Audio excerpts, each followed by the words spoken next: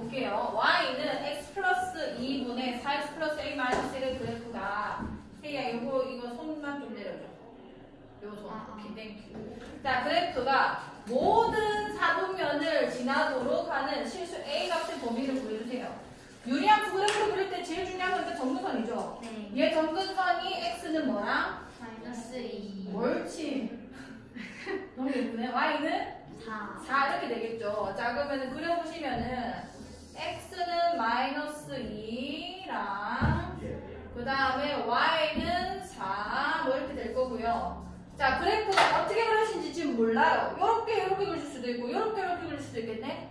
자 만약에 이렇게 이렇게 그려서 버리게 되면은 1, 4분면, 2, 4분면, 3, 4분면만 지나죠.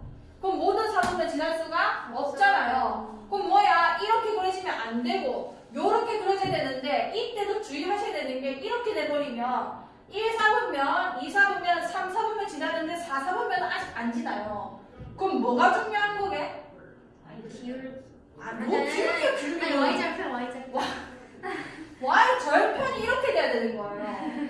아 y 절편이 무슨 수에 되는 거구나. 음수. 그치 이건 거야.